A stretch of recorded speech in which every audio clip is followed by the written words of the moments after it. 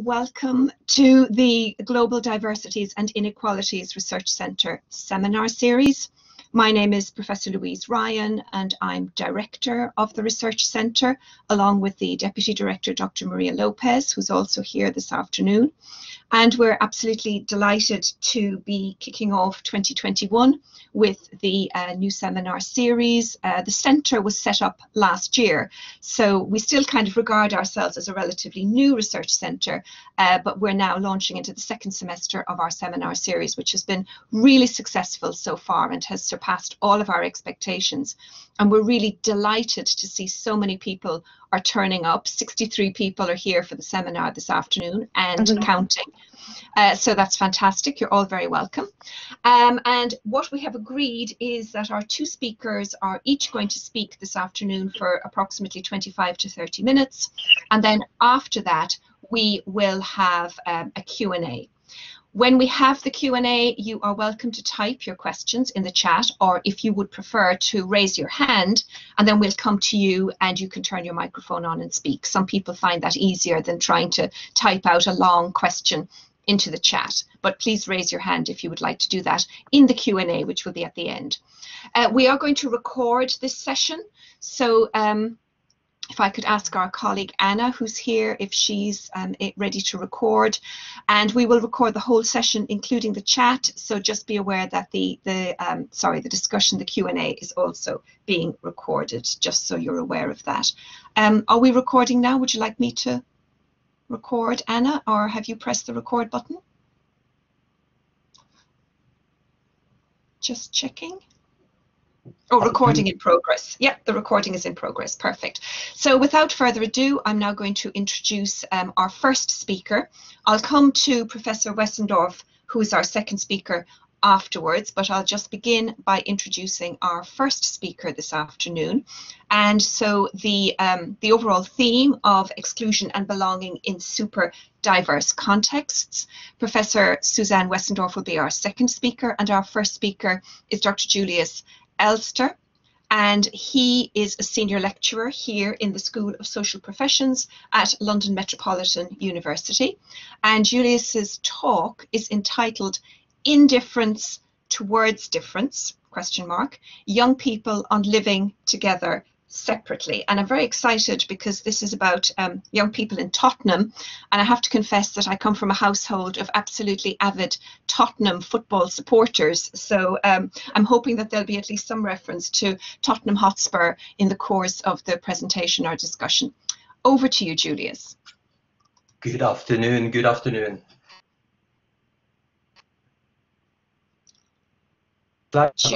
Julius, I think your sound is, sorry, sorry to interrupt you, Julius. Before you've even started, I'm interrupting already. Your sound is a little bit um, unstable, so perhaps you could turn your camera off. Thank you. The, the camera is off now. Hopefully you can hear me better now. Yes, that definitely sounds better now. Thank you. Okay, excellent. So no talk on uh, Spurs uh, will take place in my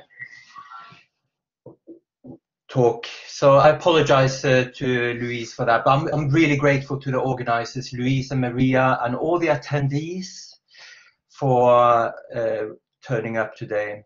And I'm uh, particularly grateful to Louise for chairing this seminar. And it goes without saying, I'm looking forward to hearing Susanne Wessendorf's talk a little bit later.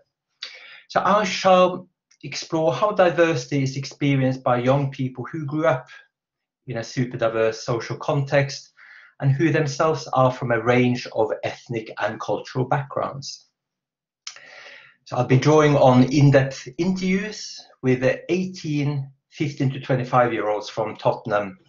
That's an area in, uh, in North London.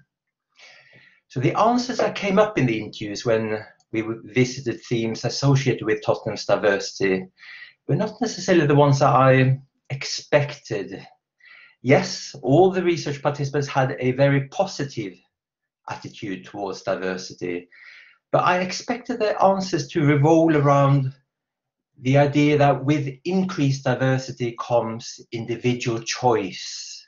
So a mix and match approach to identity and new life opportunities. I expected the, the young people to speak about uh, diversity as enabling them to kind of have a pick and mix attitude towards identity, that they can sample different uh, things from uh, other people in the community and integrate it into their own identities.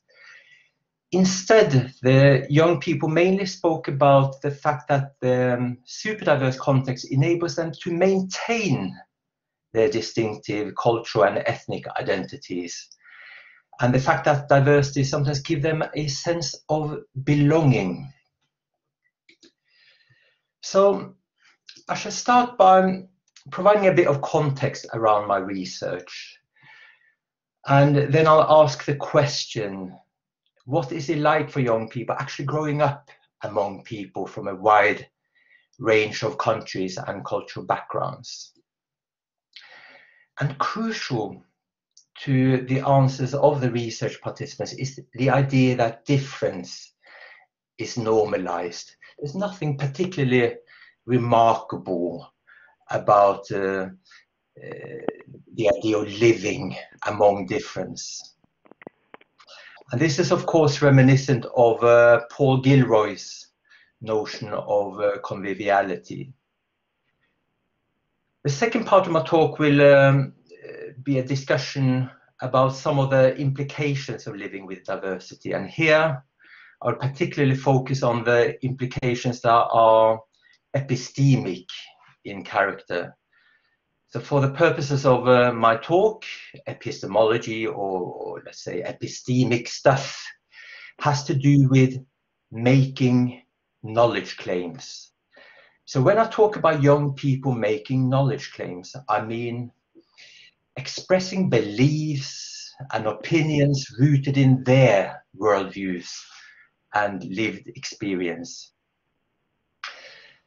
So I suppose I'm interested in, in the question of whether a diverse environment contributes to facilitating a relatively safe space where young people who otherwise might feel mar marginalized can uh, make knowledge claims without being regularly subjected to unfair scrutiny, uh, misrepresentations, or othering processes.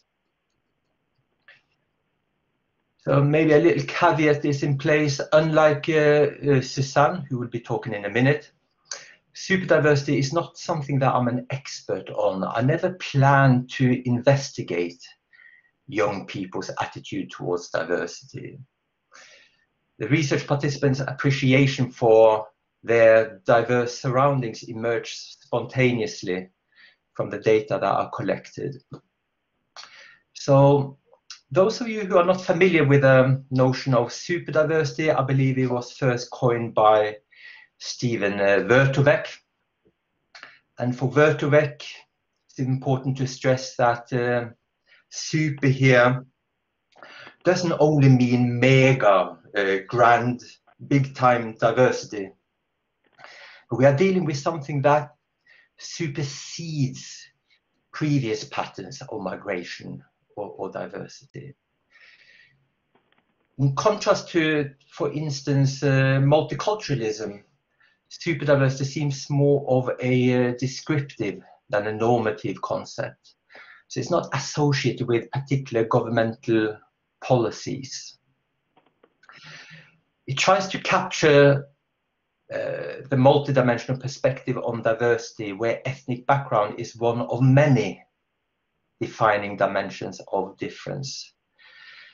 Uh, admittedly, in today's talk, my approach is more phenomenological, though. Uh, so more phenomenological than uh, an example of super diversity research, since I'm uh, more interested in understanding how diversity is experienced by young people than looking at the different variables associated with super diverse communities. So a bit of context around Tottenham. So here we see London to the left here, and maybe it should have Thamesy flowing through. So Tottenham is located in Haringey, which is in North London. And um, you see a map of Haringey on your right-hand side here. So according to the IMD, residents in the 10 10th percentile areas shaded darkest on the map here are amongst the 10% most deprived small neighborhood areas in England. So as is shown on the map, the most deprived neighborhoods in Haringey are more heavily concentrated in the east here. And that is exactly where Tottenham is located.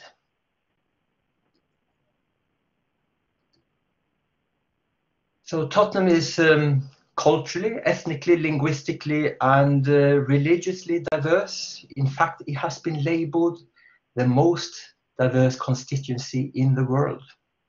So with about 200 first languages spoken, few other places can boast of a more diverse cultural and ethnic environment than this particular corner of North London.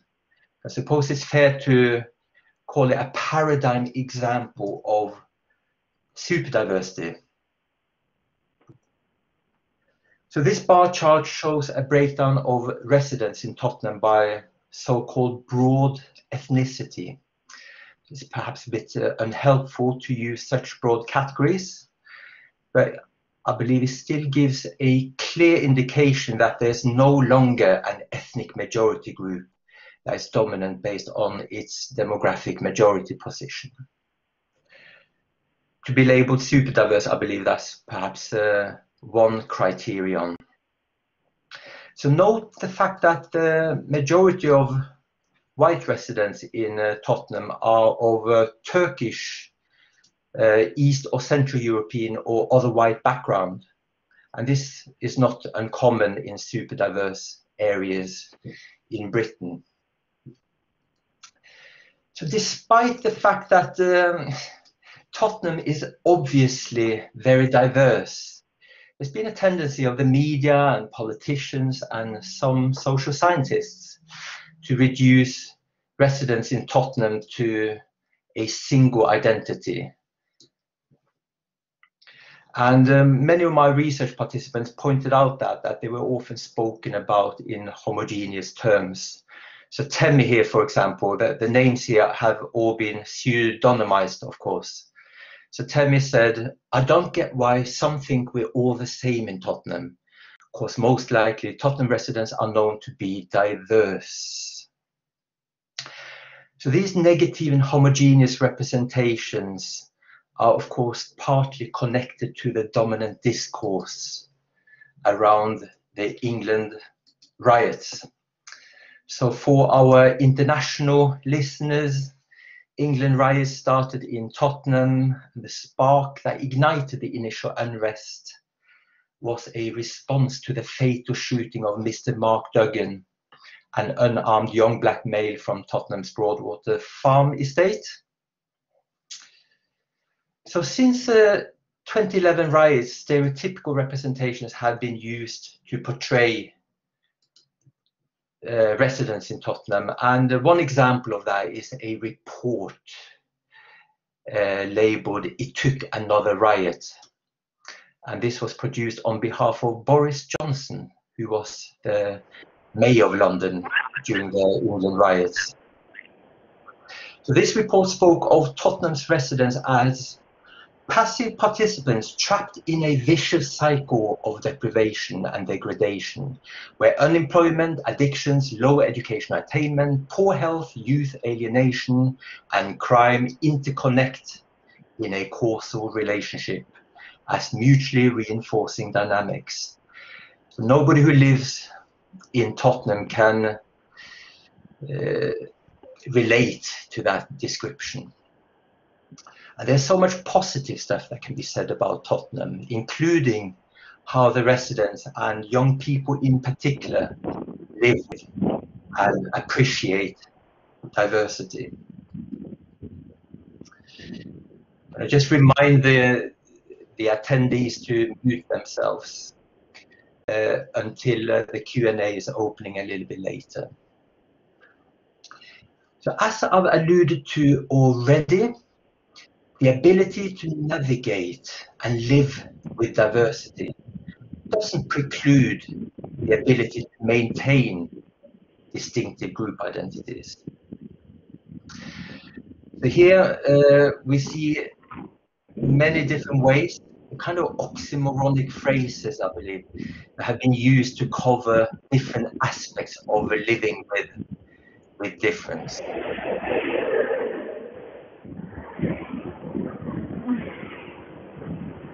Just one second here.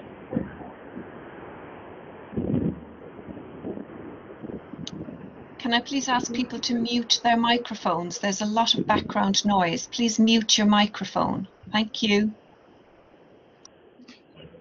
I think the, the noise is coming from those who have joined us via phones as opposed to online.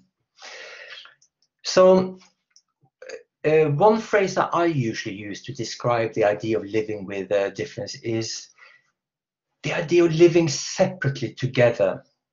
And I suppose this kind of encapsulate two great longings for humankind. This idea of uh, being able to belong, a sense of belonging, but at the same time having the opportunity to develop an independent trajectory in terms of uh, identity formation.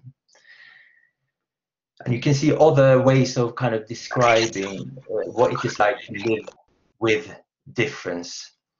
So what's implicit here is that residents see neighborhood diversity as a normal part of everyday life. But this typically does not extend beyond uh, the public beyond.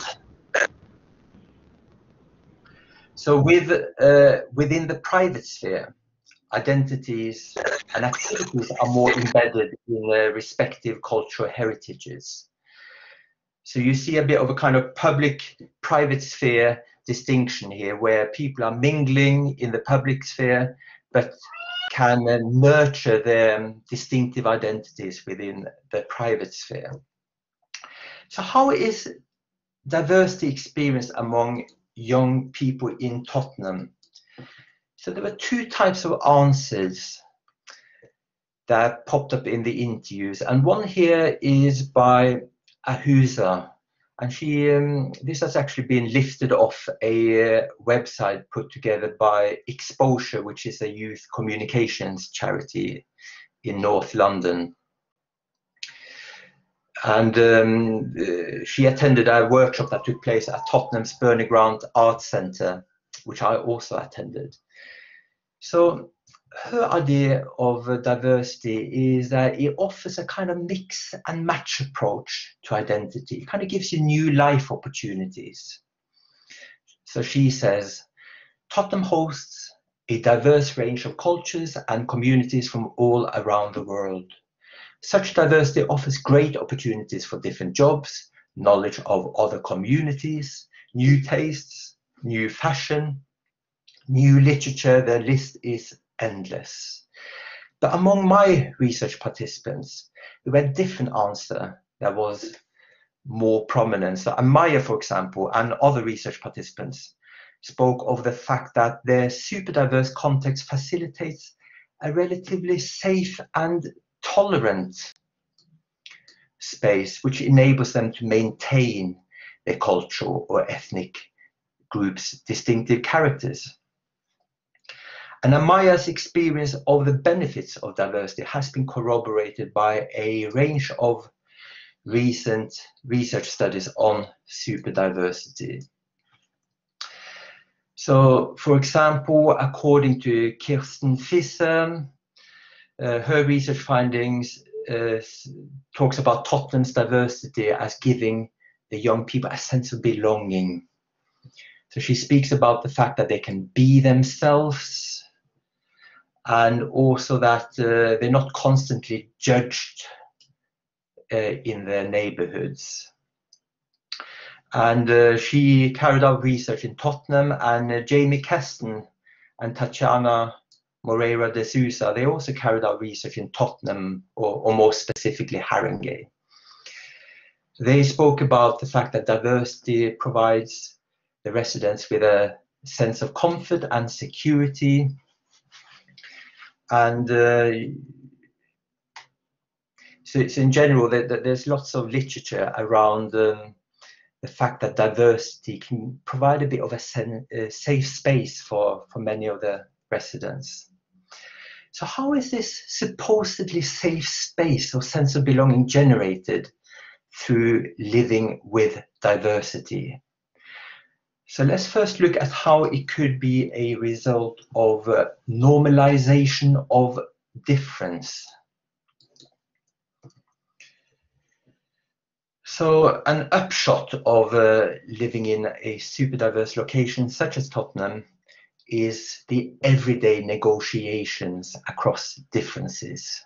And I'm here stealing uh, some of the words from uh, Susanne Wessendorf's book uh, Commonplace Diversity.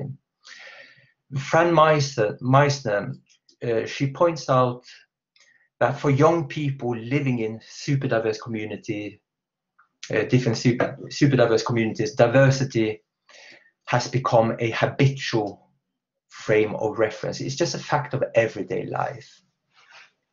And one of my research participants, Camille, stated that it's just the norm to have lots of people from different cultures around you. And this, of course, forms the basis of what Paul Gilroy refers to as conviviality. So Amanda Wise and Greg Noble, they spoke about conviviality as an orientation towards shared lives lived through difference. And here again, we see that kind of oxymoronic way of phrasing the idea of living with difference. And I think crucially here, uh, convivial relations between members of diverse communities comprise what Valluvan is speaking about here, namely the idea of being at ease in the presence of diversity. That diversity is no big deal. And also the fact that ethnic, diver, uh, ethnic differences are not constantly being measured up against a white majority, nor are they uh, constantly being accommodated in relation to a white majority. So what is it that makes the young people feel relatively safe in a diverse setting? So I observed some positive epistemic consequences of experiencing diversity on an everyday basis. So in relation to Tottenham's diversity, research participants often spoke about being able to go about their business and express beliefs without being constantly reminded of their so-called minority status or reminded of their possible membership in a stereotype group or without being constantly juxtaposed or understood in relation to a white majority. And when you're not excluded from sharing your experiences and testimonies, then you're participating in knowledge production and that's what I mean by epistemic consequences or epistemic implications. And I'm here, of course, borrowing from feminist social epistemology and in particular from uh, Kristie Dotson and uh, Miranda Fricker. So in order to understand what may be involved in feeling what I here refer to as epistemically relatively safe in a diverse setting, we also need to look at the opposite, namely the idea of epistemic exclusion and oppression. So my research participants seem to be subjected to exclusion and epistemically oppressive practices on a regular basis as they ventured outside Tottenham into less diverse areas. So Lesedi here, she um, born in Kenya but brought up in Tottenham. So she said, those who live in less diverse neighborhoods often perceive me as different or other, or may not think that there is more to me. And Camille said something similar. She has a Bayesian background.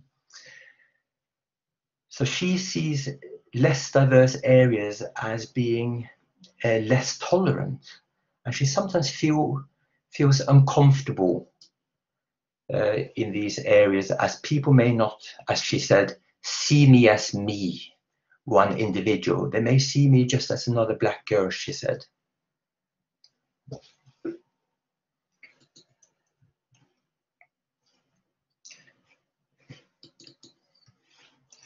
So unlike life in Tottenham, Lesedi's secondary school is located in an area where one group forms a clear majority.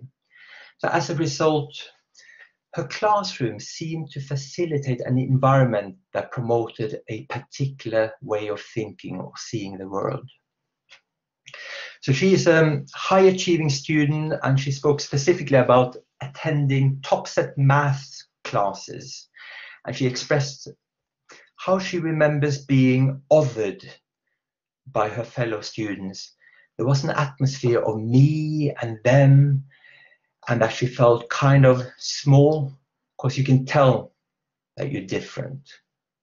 So in this context, you, you're no longer indifferent to difference. Suddenly difference becomes a thing. You become aware of the fact that you may be different. So these negative experiences of um, epistemic uh, oppression, where, for instance, knowledge claims are not taken seriously as a result of uh, racist attitudes or other forms of identity prejudices. So these are experiences that took place in less diverse areas. They were often contrasted with more positive experiences in Tottenham, so based on what the research participants were saying, Tottenham's diversity seems to open the door for a form of um, what I shall call epistemic diversity. So what do I mean by this? So here we're talking about an environment which allows for different worldviews, different perspectives, ways of thinking, different lived experiences to exist alongside each other. So with epistemic diversity, you're not aiming to reach a consensus. It's not about agreement, a community where people are drifting towards one way of thinking. And when there is no longer an ethnic majority group that is dominant, then an unequal hierarchy of epistemic relations appears to be less likely to emerge so we're not here having a community where one group are kind of dictating how we should be thinking or what we should um, be leaning towards in terms of ideas and uh, experiences we should listen to and so on and so forth.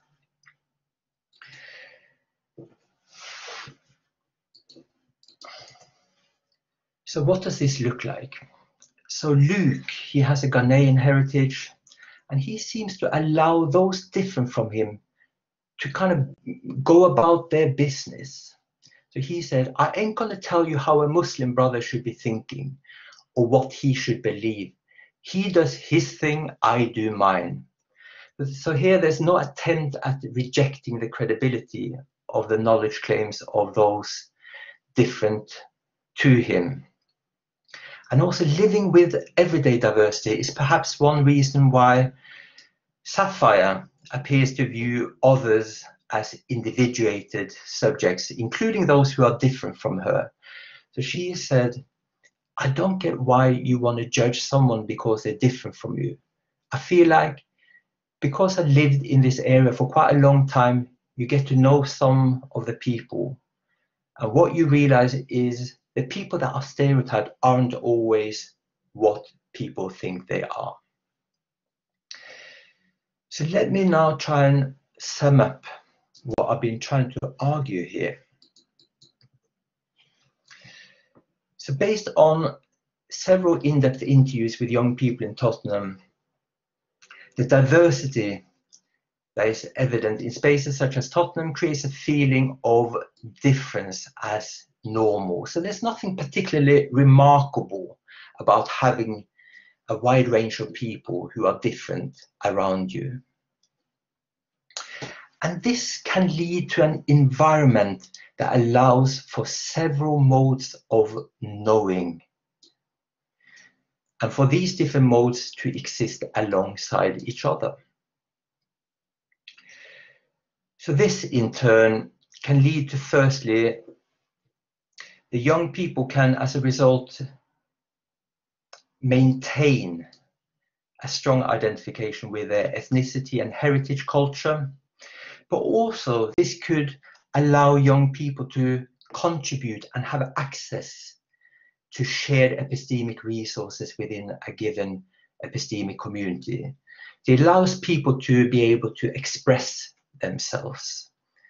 And their testimonies may be more likely to be viewed as valid than perhaps in an environment where uh, a white majority is dominating. So all in all, uh, this can lead to a relatively safe epistemic environment especially for those who may feel marginalized by different systems of oppression. And the reason for this is because there seems to be less chance of a majority group rejecting the credibility of their knowledge claims, but also the fact that there is less chance of a hierarchy of epistemic relations between those who have more epistemic authority and those who have less. So I suppose this is nothing more than a postulation based on a relatively small sample of young people living in a very particular corner of North London with a very particular history. So it goes without saying, uh, the picture that I painted today is a bit more complex and uh, much more research is required in this area. So I suppose on that note, I should hand the mic back to Louise. And I'd just like to say thank you for tuning in, and I'm looking forward to hearing Susanne's talk in a minute, and also looking forward to answering your questions. Thank you very much, Julius. That was really excellent and so engaging. And I, as you have the references there in front of us, I want to congratulate you on your article in Sociological Review, uh, which is a, a, very, very high impact journal. So congratulations on getting your uh, paper based on this research on Tottenham published in that journal. Well done. Um, so I'm sure many of you have questions for Julius, but I'd ask you to hang on to them, write them down, and um, we'll come back to them in, in about 30 minutes because I would now like to hand over to Professor Susanne Wessendorf, who's somebody I've known for, for many years, and I'm absolutely thrilled that she's speaking today in this session with Julius. So Susanne is um, an anthropologist, and she did her PhD at the University of Oxford, and then previously, when I first met her, she was at the University of Birmingham. Uh, interestingly enough, in the Institute for Research into Superdiversity, IRIS, uh, she then moved to the London School of Economics, but she's now professor at uh, the University of Coventry. So congratulations on, on that uh, relatively recent appointment in the Centre for Trust, Peace and Social Relations. So Susanne's talk today is entitled Social Exclusion, Symbolic Boundaries and Convivial Labour in East London's Context of Ongoing Immigration. So we're moving from North London to East London. Over to you, Susanne. Thank you very much, Louise, for your kind words, and thank you both to Julius and uh, Louise for inviting me to this to this seminar. I'm going to turn my camera off now just for quality um, reasons, but my slides are up. So um, I'm going to talk about a research project that I'm currently undertaking in Newham in East London. And it looks at the overlaying of old and new immigration. And with this, I refer to areas where you have had um, large-scale post-war immigration and where there are now established ethnic minorities. And since then, and especially more recently, there has been ongoing immigration from various parts of the world. Now in Newham, you have large numbers of people of mainly South Asian background, but also of Caribbean and African backgrounds, and they have been there for up to three generations. And this is coupled with the immigration of newcomers from many different places. Recently, immigration from Eastern Europe has been the most noticeable, but there are also newcomers from Latin America and other parts of Europe and Africa. Now, most studies on attitudes towards newcomers focus on white British people. So there's been a, a range of studies um, on how especially people in more disadvantaged areas, also described as left behind areas, how they feel resentful towards newcomers because of competition over resources like jobs and housing.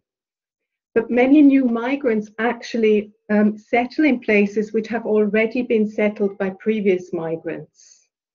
Now, we know very little about how these long established migrants and ethnic minorities react to new immigration. And often these areas are disadvantaged as well. So my project wanted to look at what it what it's like for these long established ethnic minorities to deal with newcomers and how their reactions towards newcomers are related to existing inequalities and potentially their own experiences of exclusion, especially in regards to racism. Now, in Newham, Eastern European immigration has been the most noticeable, and this isn't um, something, this is um, not only something that I have found in regards to statistics, but also during my fieldwork. So when I asked local residents about changes in the area in regards to the population, every single person mentioned Eastern Europeans. So today I will specifically focus on reactions towards Eastern European migrants.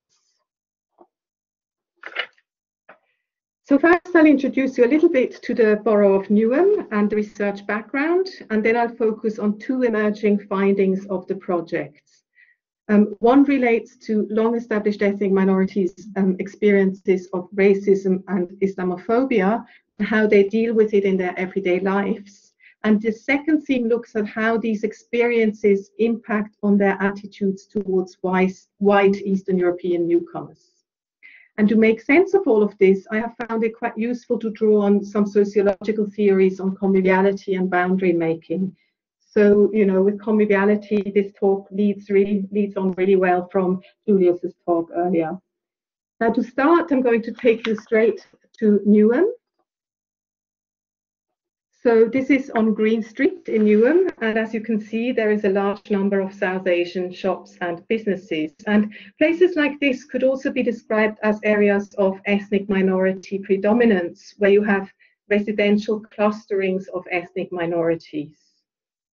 Now, so, although some of the original immigrants to these areas and their children have moved away, Many of them have, made these neighborhoods their homes, and their presence is visibly marked by shops, restaurants, and services like taxi firms and religious institutions.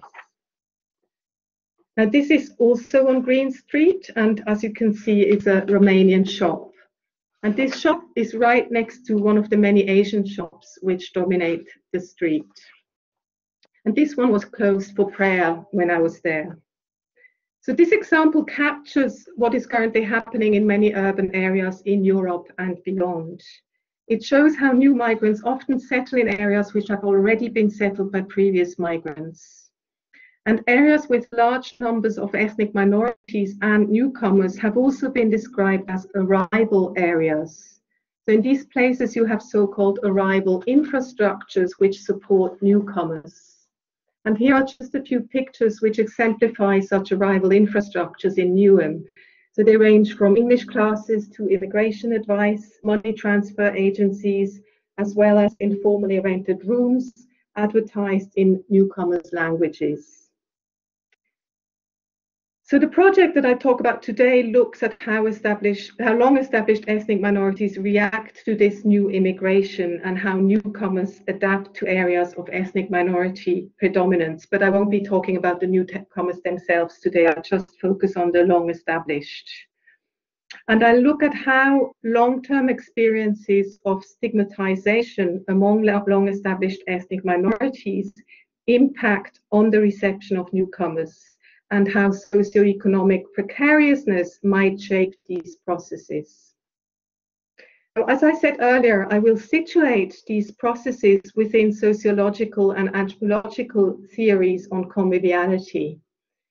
Scholars working on conviviality are interested in looking at how people who live in demographically diverse contexts live together successfully. They look at how people rub along despite potential for tensions resulting from cultural and religious differences. Now, I found the convivialities approach quite fruitful when looking at my empirical material. Rather than only focusing on processes of exclusion and discrimination, a conviviality approach enables us to recognize people's capacity to live together peacefully and to examine what kinds of strategies they develop to do so. Now, of course, this includes recognizing the existence of discrimination and racism, but it also sheds light on people's skills to manage interactions across cultural, religious, linguistic, and class differences in everyday life. Now, briefly about Newham. Um, Newham is in East London, and as I said, it's a classical immigrant reception area where new arrivals find their feet and where relatively affordable rental houses, housing can be found. It's also one of the most deprived areas in Britain with high unemployment and a high rate of child poverty. Now, in fact, Newham performs worst or below London average across most indicators such as employment rate, low incomes, economic, um, economic activity rate, etc. In terms of ethnicity, the borough has the lowest proportion of white British people in England and Wales, and more, more than 42% of the population were born outside um, the UK. The area also has a high population turnover rate. So in 2015, for example, 37% of the population had been in Newham for less than five years, and only 44% had been there for more than 10 years. Only 39% of the population have English as their first language. And since EU accession in 2004, Newham has seen the arrival of increasing numbers of Eastern Europeans, which in some areas in Newham have now reached 11% of the population. And the main countries um, where these people come from are Poland, Romania, and Lithuania. And here on the slide, these are represented as white other. In terms of methods, I'm a social anthropologist and the research was primarily qualitative. Um, as part of my fieldwork, I have attended various community groups like a weekly knitting group in a library, a monthly coffee morning in a different library. Um, I undertook um, interviews with local residents, both long established and newcomers. Um, I did focus group interviews with long established residents of different ages. And I also spoke to experts like teachers, policemen, and social workers. And of course, I had many informal conversations with people working in cafes and shops. And so far, more than 100 individuals have participated in my research. Now, in order to understand the long established minorities' attitudes towards newcomers, we need to understand their own current situation in Newham and the UK more broadly, in regards to their sense of inclusion or exclusion. And I first focus on um, racism and Islamophobia, and towards the end of my talk, um, I'll also look at the impact of socioeconomic disadvantage. Now, I spoke to different generations of ethnic minorities, and there was a general sense that racism had decreased over time. I have heard many accounts of how terrible it was at the beginning, with children having bricks thrown at them in the 1970s, people having dog poo put in their letterboxes, etc. And this kind of everyday racism was reported to have very much decreased over time. Now, in fact, um, young people reported very few experiences of everyday racism, at least within the areas in Newham where they lived. So again, this um, reflects um, Julius's findings. However, they also talked about how differently they felt when they left their area and went to more white British areas in other parts of London or the UK. And even within Newham, there were no-go areas because they were perceived as too white and racist.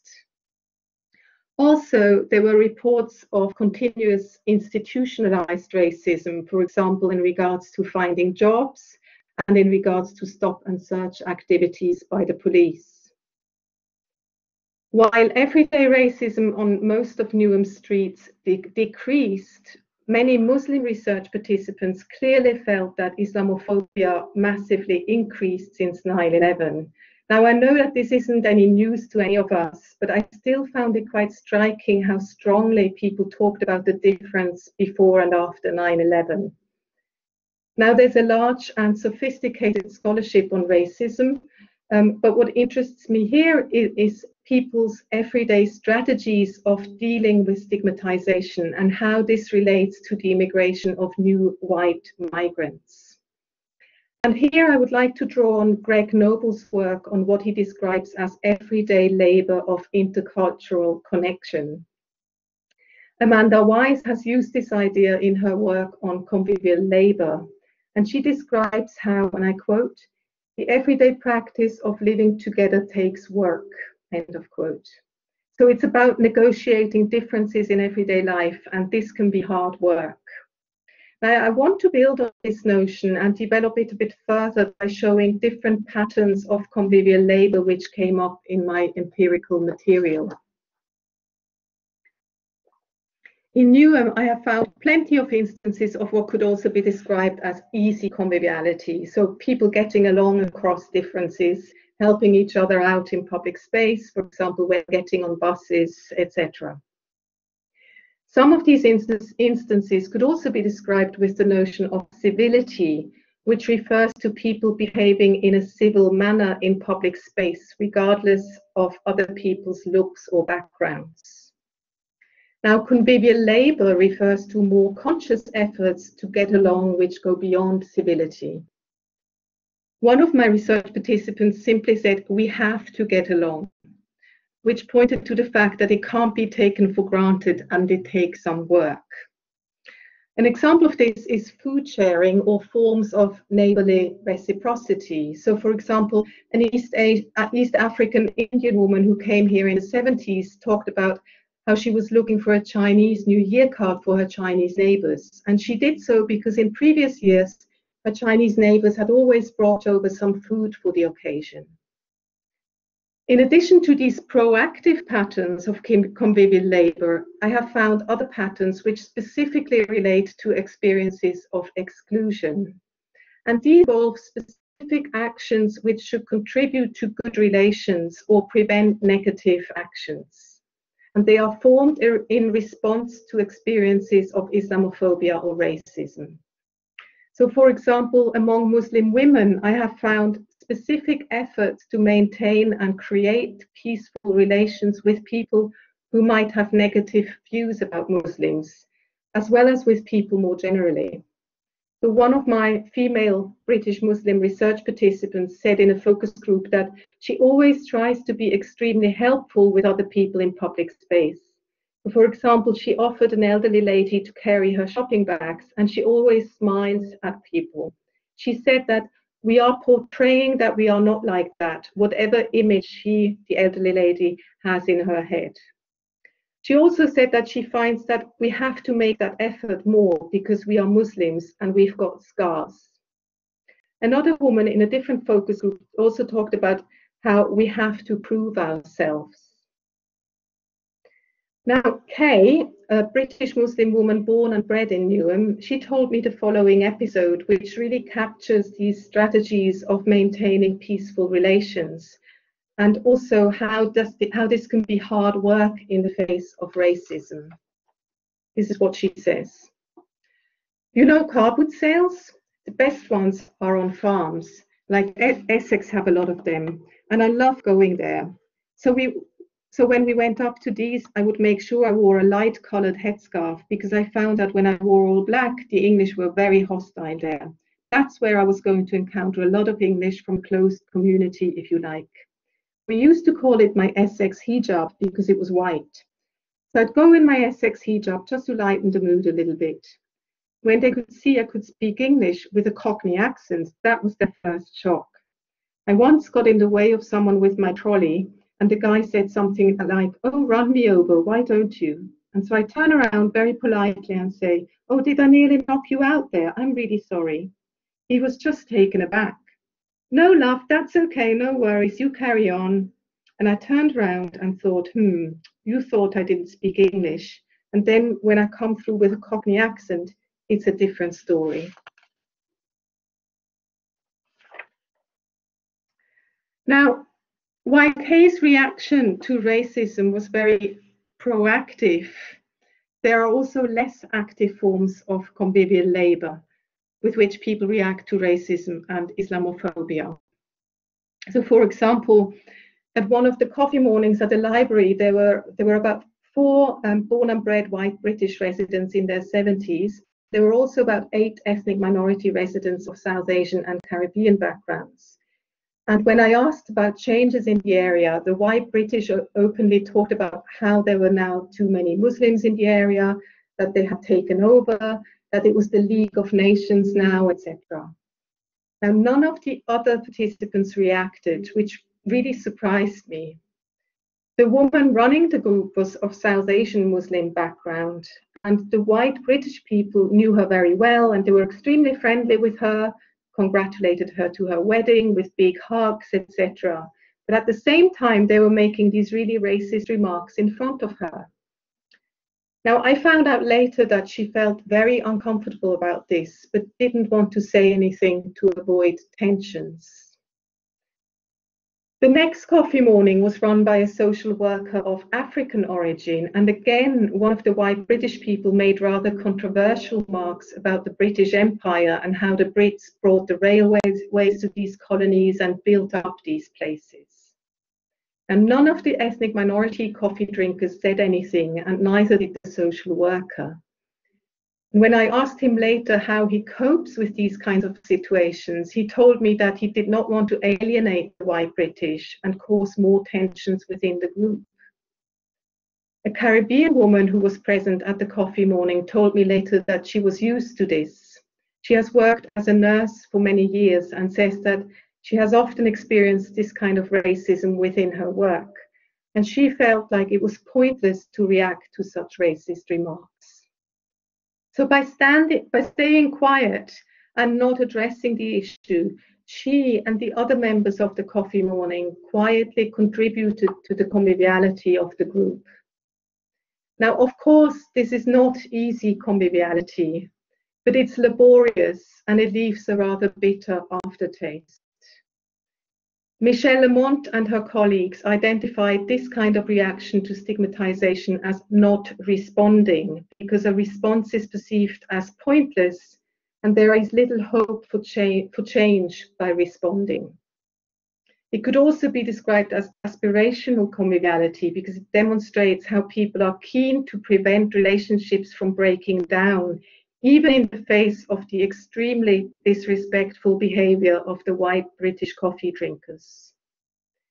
And with this notion of um, um, aspirational conviviality, I now want to turn to attitudes towards Eastern Europeans. Now, as I mentioned earlier, when asking long-established residents about changes in the area, all of them first mentioned the number of Eastern Europeans moving in. So this is definitely something very much experienced as a rapid change. Aspirational conviviality was expressed in a focus, focus group with ethnic minority mothers at a primary school. And they expressed the wish to, for more opportunities to meet parents at, this, at the school who are from other places like Eastern Europe and with whom they didn't have much opportunity to interact. They criticized Eastern Europeans for not wanting to mix, for example, at the school gates or playgrounds. Now, in an earlier study, I have conceptualized this expectation that people should mix across ethnic and religious differences as ethos of mixing. Ethnic minority residents expressed this ethos of mixing through expectations that newcomers should speak English. And one of the main complaints about Eastern Europeans was that they spoke their own languages in public space or at the workplace, and they did not make enough effort to speak English. They, they contrasted this with their own histories of immigration emphasizing that their parents always encouraged them to speak English in public space, even if they themselves didn't speak English. Now, I find this interesting because the criticism that the newcomers don't want to mix is exactly what many British Muslims are criticized for, both in public and policy discourse. Another sentiment about Eastern Europeans is related to how people feel about groups of Eastern Europeans in public space. And this is directly related to notions of civility and order. One of the repeated criticisms that came up was that they drink in public space, something that especially Muslim residents find difficult to accept. Also, there was much criticism of increased begging on the streets, which was ascribed to Romanians. Both drinking and, and begging clearly breaks rules of civility and conviviality in the views of these participants. Now, these issues around civility and order have been observed in many contexts of insider outsider constellations in neighborhoods across Europe and beyond. So, for example, Andreas Wimmer observed it in relation to Swiss cities in the early 2000s, and Sandra Wallman observed it in South London already in the 1980s. So, civility and order are among the main issues of contention in contexts characterized by rapid population changes. However, resentment against newcomers is also related to socio-economic conditions and competition over resources. And I now have a rather long quote, but it really captures these feelings. And the quote is taken from a focus group with mothers of ethnic minority background at a primary school. And all of them are British Muslims, except for Sharon, who is of Caribbean um, background. And um, this is a rather long quote. It's two slides. So I think I'm going to let you read it yourselves, give you a bit of time, and then, and then I'll speak again. So when I asked them about Eastern Europeans, um, they said the following. Now, actually, if someone cannot read on the slide, um, if some, somebody has visual impairments, please let me know and I will read it out. Just speak up.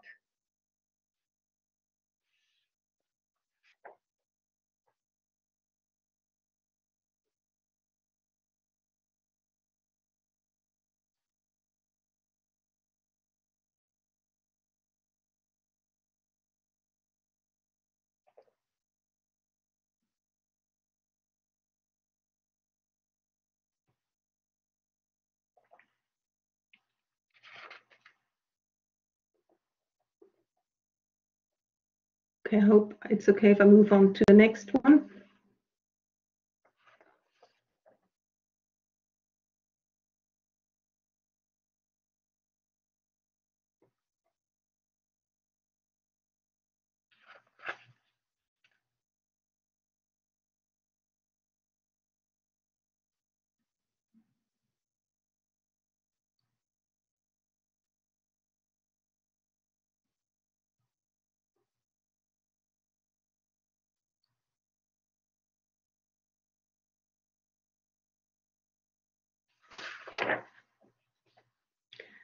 Okay, so this discussion illustrates the mixed feelings these women have about the newcomers.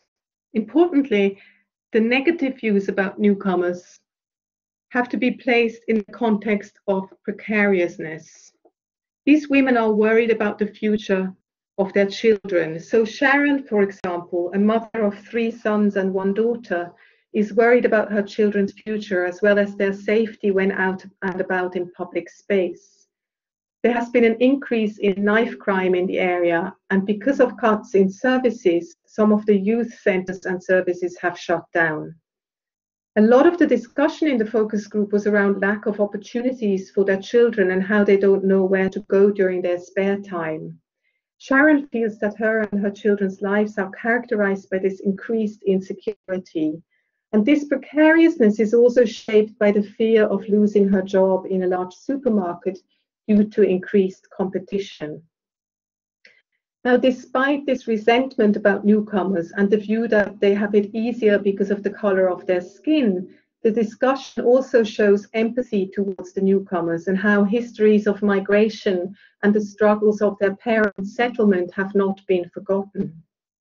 now, while their lives, while their views kind of wavered between empathy and resentment, the mothers, as well as other research participants, described interact interactions on the ground as um, similarly nuanced. So, for example, the women talked about how if their children make friends with Eastern European children, they do sometimes meet the mums on the playground and smile at each other. Other research participants talked about neighborly relations with Eastern Europeans, how their neighbors would share a barbecue with them or tell them to take their washing in because they were having a barbecue.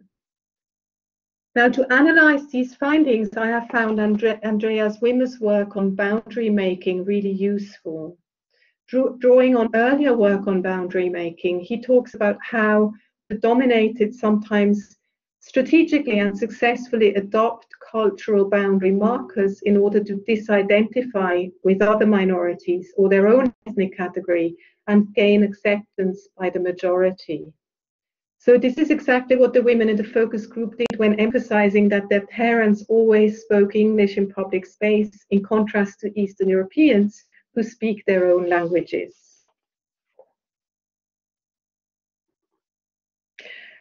So I hope to have presented to you a nuanced picture of the workings of conviviality and stereotypes in this context of old and new immigration.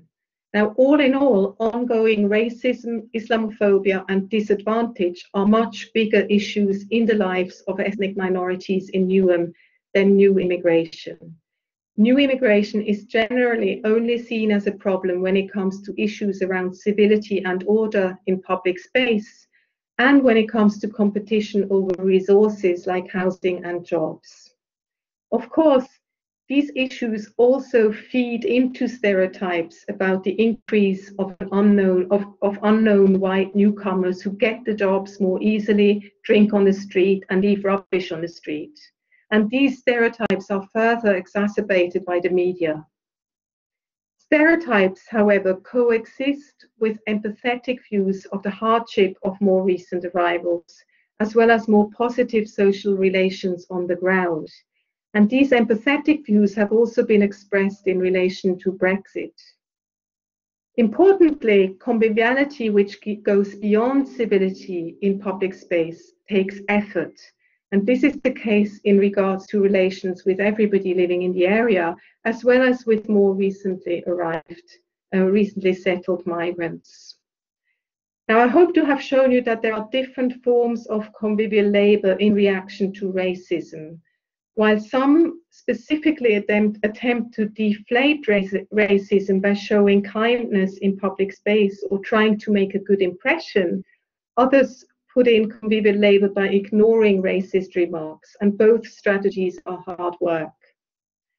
Now, I guess this kind of convivial labor could also be applied to other categories like gender and sexu sexuality. So, for example, when women ignore patronizing or sexist remarks. Now, I also hope to have shown how these processes are very much shaped by socioeconomic precariousness. And this was exemplified by Sharon, who was also in the focus group that I quoted.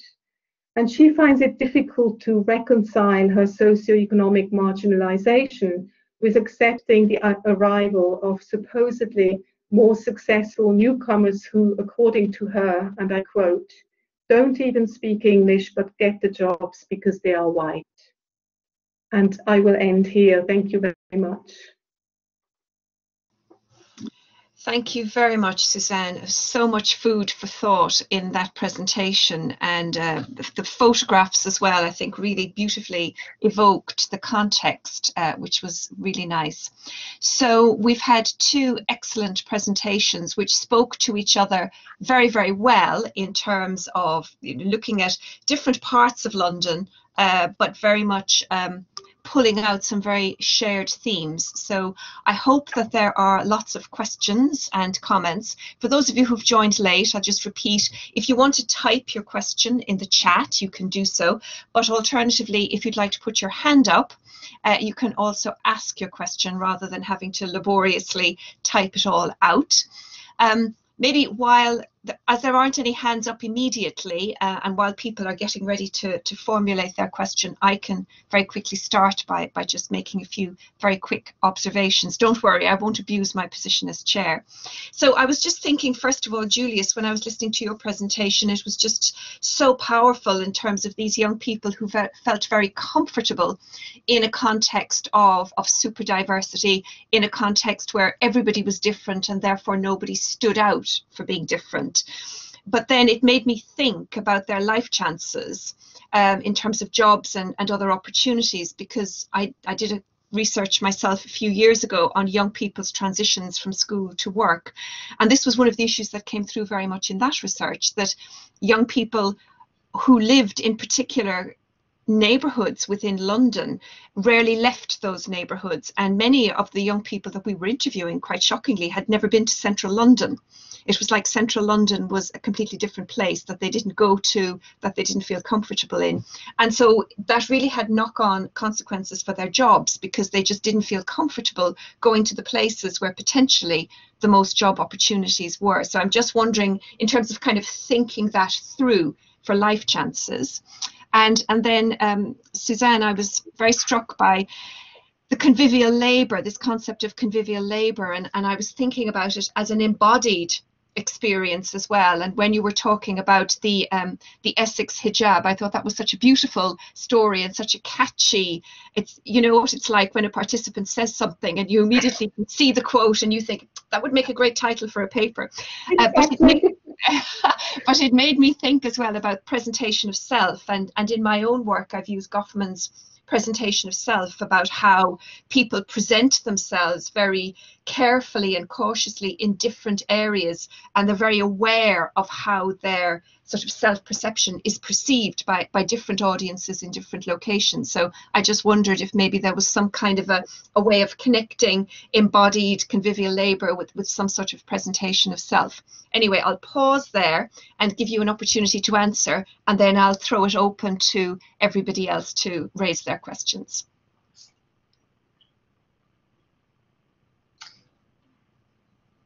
Julius, maybe would you like enough for me to answer. So I'm going to try and answer with my video, with my camera on, and just give me a an indication if it if it's a disaster. So basically, my research perhaps could translate into longitudinal research, in which case I would be in a better position to answer your question about uh, life chances. Uh, it didn't pop up in many of the interviews um, how they uh, navigated employment.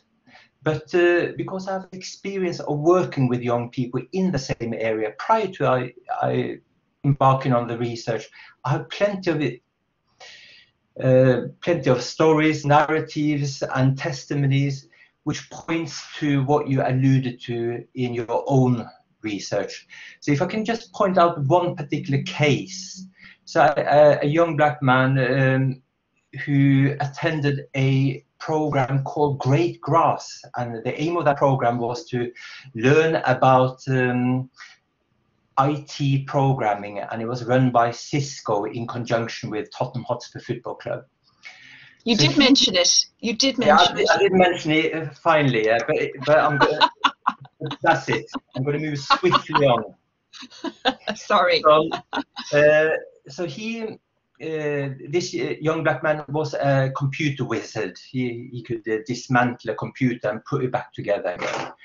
Uh, and he was uh, awarded quite a lucrative apprenticeship that took place in West London. And uh, of course, the the manager of the program was thrilled and very proud of it and used it as a case study to flag up the wonderful program that they were running.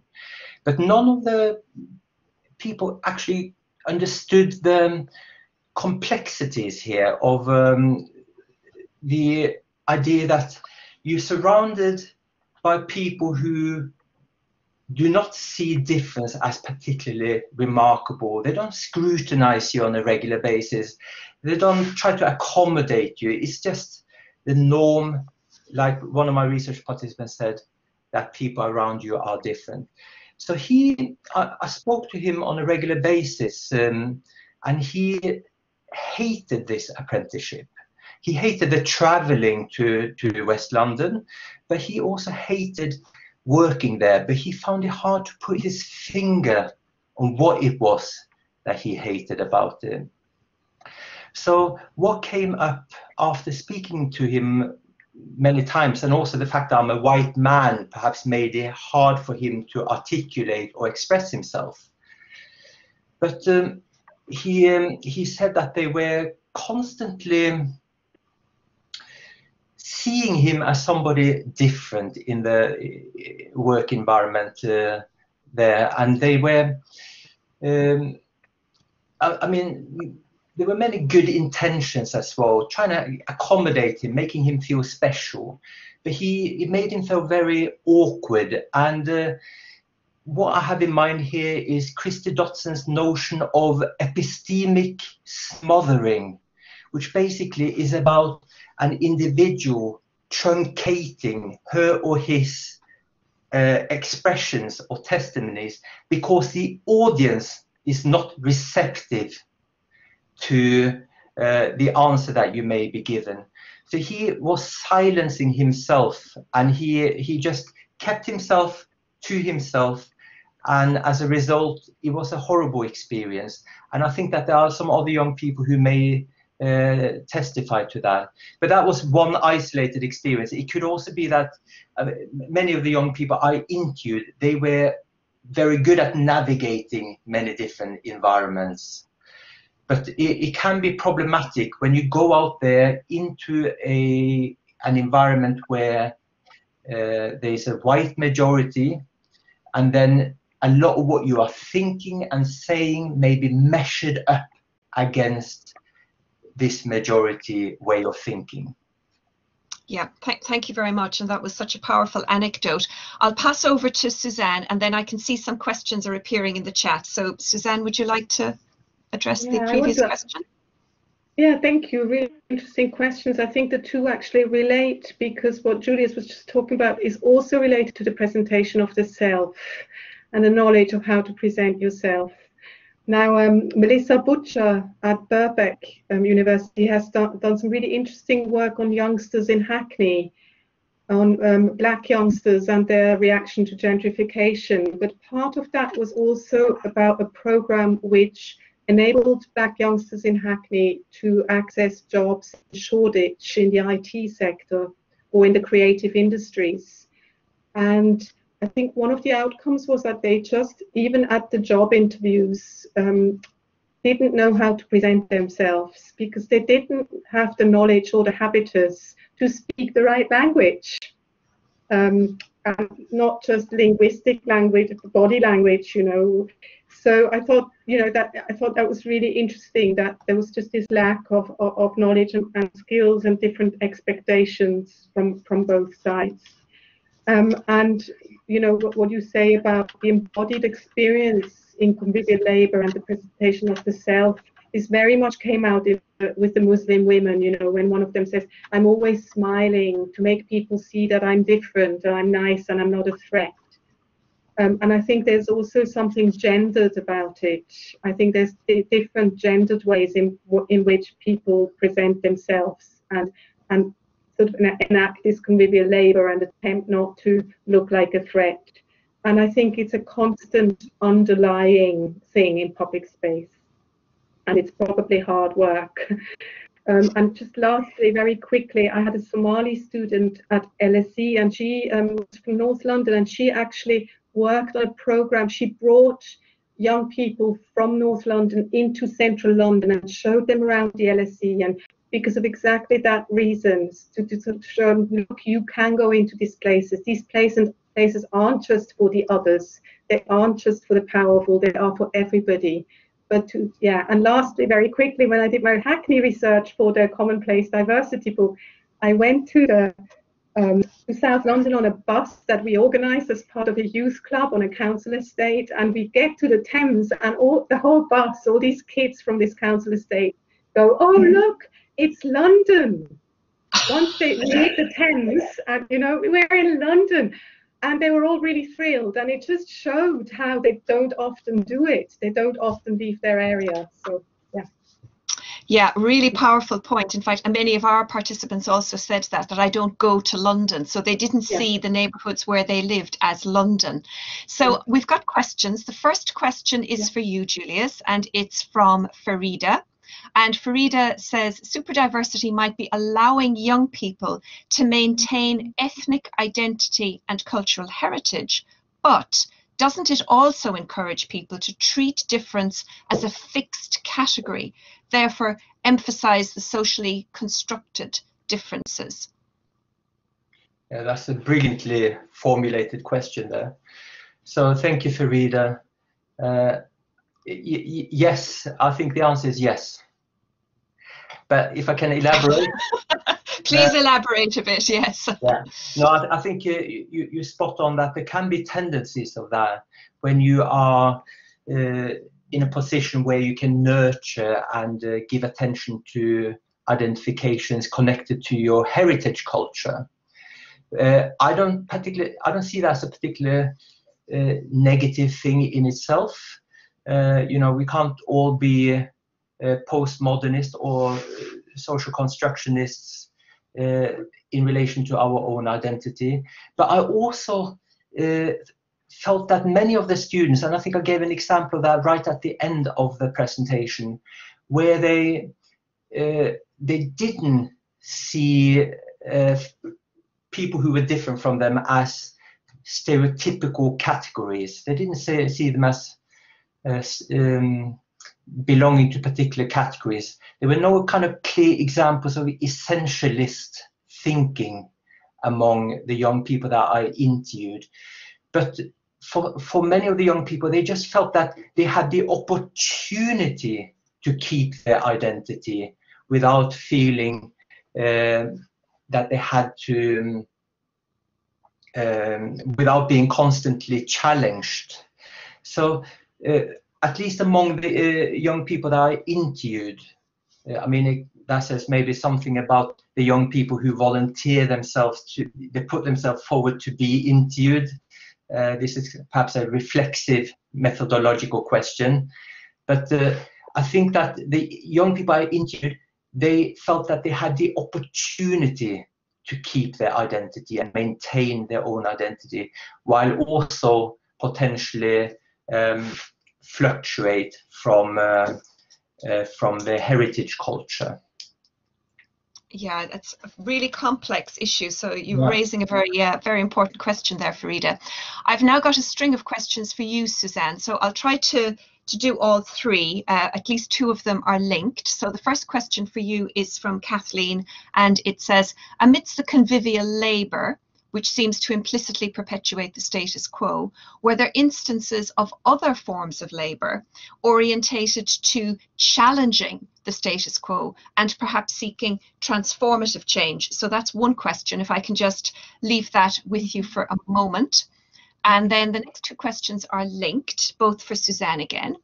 Um, so did any of the research participants discuss experiences of racism directed towards them from Eastern European people locally?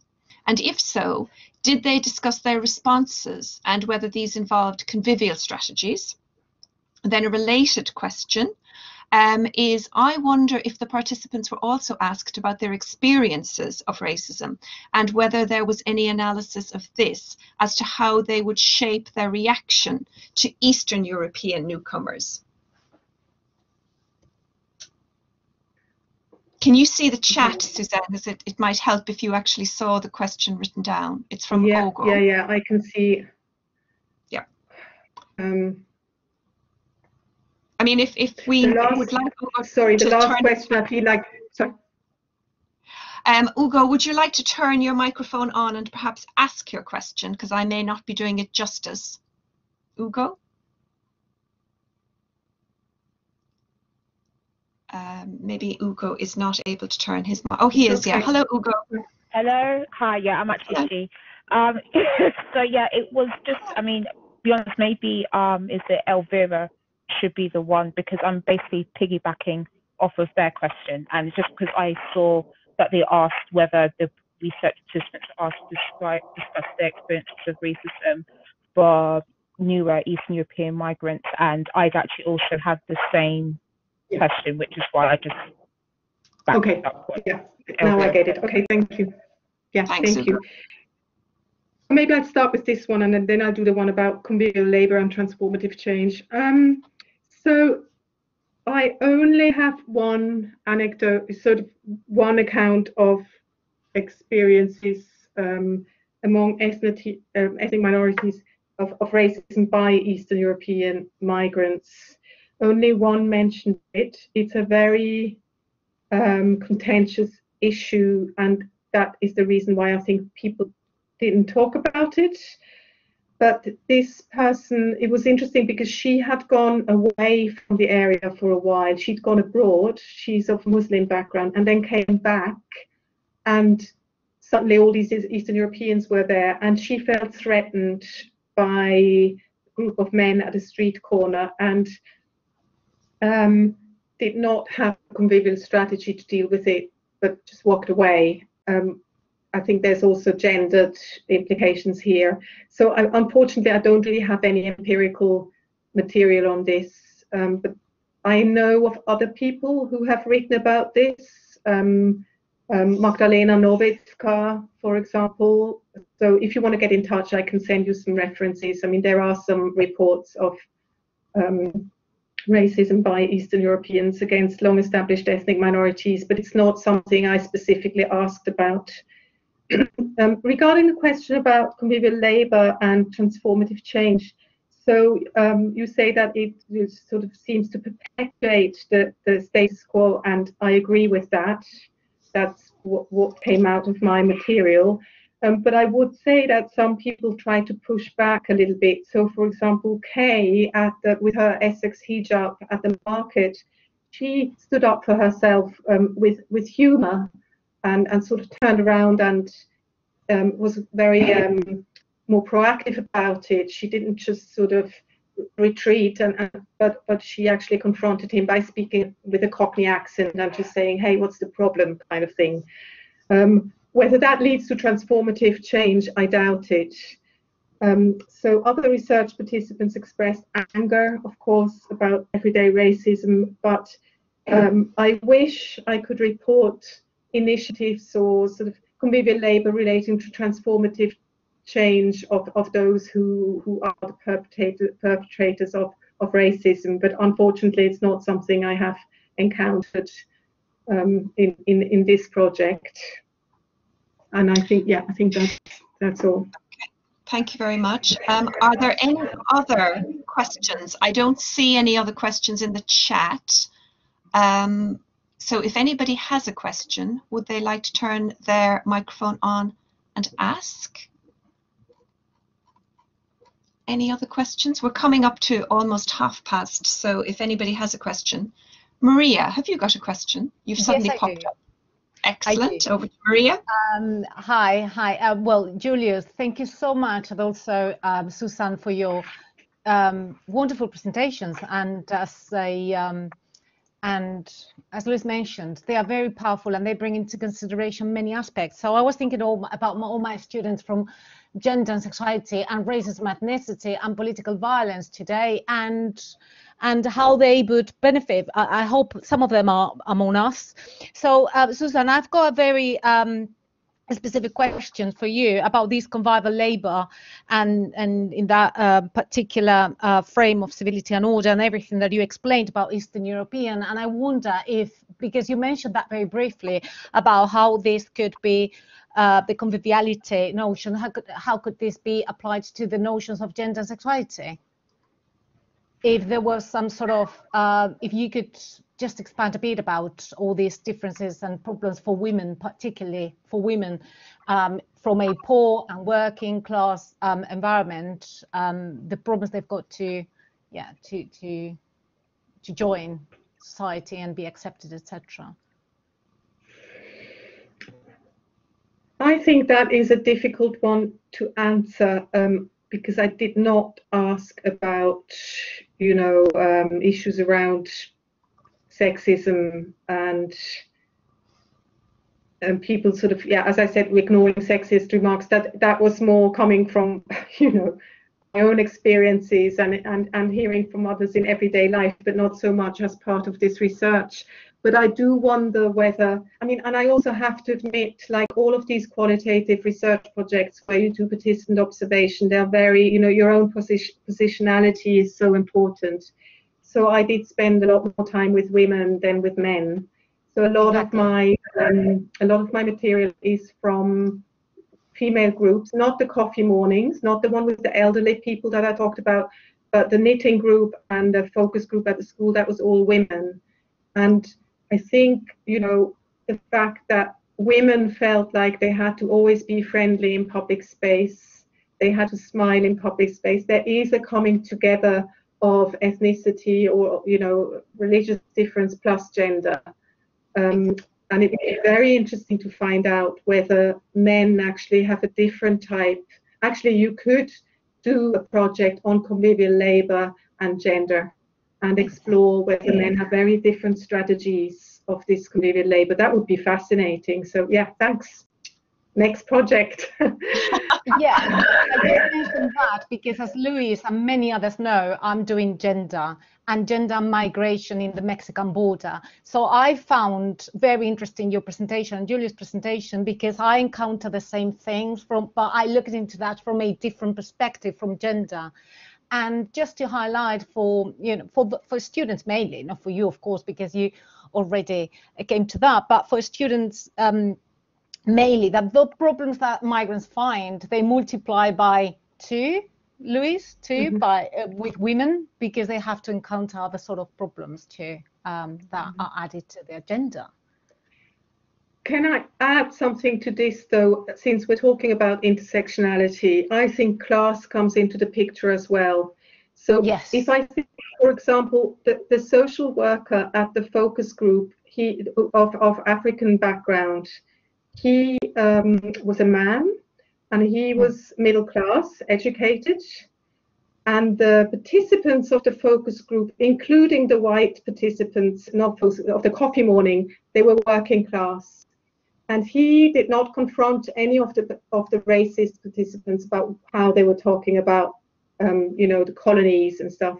But I think there was also almost a certain generosity because he sort of implied he had more knowledge and oh you know i've given up these guys they're just you know they're just a good old working class racist kind of thing you know he was um, so he was almost above he felt like he, he was above these debates because he was more educated and he couldn't he didn't want to confront it and i completely completely understood where he was coming i'm not judging him in any way so but just to mention, you know, there's there's these different positionalities, and class definitely also comes into the picture. Absolutely, yes, yes. Uh, we don't have any other questions, um, but just as we sort of move towards a conclusion, I, I just wanted to um, say, Susanne, that I find your research so fascinating because, as you said at the outset, there's often this kind of narrative that newcomers arrive in an area, migrants arrive in a in a district in London, and it's then how they sort of negotiate their way with the white majority. But as we know, of course, in many of these areas, they hardly ever come across the white majority. It's their encounters with previous waves of migrants, which is often uh, the most sort of acute interactions. And and just to say, we've we've done a project on aging and migration. It's just recently finished uh, with my colleagues in Sheffield. And one of the things we were interested in doing was was interviewing older migrants very similar to your participants actually who'd lived in neighborhoods in london for in some cases 50 60 70 years. You know they really were almost like they had become the the locals in those neighborhoods and then how they were responding to kind of recent waves not just of migrants but also of perhaps white middle class gentrification into areas that had previously been very ethnicized areas uh, so that was also really interesting to look at you know this kind of again turns on its head the stereotype of who are the locals and as we know in yeah. London, in many of these neighbourhoods, the locals are earlier waves of migrants, and the newcomers may even be white if not migrants, then also perhaps white middle class mm-hmm. British coming into an area. Can I add to this very briefly? Yeah, sure. That's why I found Andreas Wimmer's work in Switzerland so interesting because he looked at the neighborhood and he, so the Italian and Spanish elderly migrants were the locals. And then there was all these young Swiss sort of alternative left-wing kids coming in, and they were actually the outsiders because they broke the rules of civility and order. So yeah, these dynamics of insider and outsider status get turned around sometimes. Yeah. Yeah, yeah, fascinating. Right. Well, if there aren't any other questions, um, it's just gone half past three, so I think this is a good time to wrap up. Before everybody leaves and before I thank the speakers, I would like to plug our next event. Um, so um, as I mentioned at the outset, uh, Maria and I are the um, are running this research centre, and the next session is on the 9th of March, where we move very far away from London. Uh, we we have the the word global in the title of the research centre for a reason. We don't just talk about London, although today we had a fascinating conversation about London. But our seminar on the 9th of March is actually um, about religion, identity, and power in Turkey and the Balkan regions. Obviously, a very, very interesting and topical area, the Balkan regions. And so that seminar is taking place on the 9th of March. And all the details of all the forthcoming seminars are on the centre website. So please um, investigate that and please book for a future seminar. We'd be delighted to see you all there. I have to congratulate both the speakers because at one point we had over 90 participants on this um, seminar, which is fantastic. Uh, and again, this is one of the silver linings. There aren't many silver linings, but a silver lining of our current lockdown is that we get to have these wonderful events online and we get to have 90 people participating in an online seminar on a wet Wednesday afternoon. So well done, you've attracted a big crowd. So on that point, I would like to thank Susanne as our external guest speaker today and Julius as our um, internal speaker and your two papers really spoke to each other beautifully and it was a pleasure to listen to them both and I've thoroughly enjoyed it and learned a lot. So thank you both very much indeed. Thank you very much for having me. Thanks to the both Very, welcome. So as we've mentioned, the session is recorded and in due course, the recording will be put on the centre website and anybody who wants to send the link to their students or anybody else, they'll be welcome to share the, the link to the recording. So on that note, thank you all very much.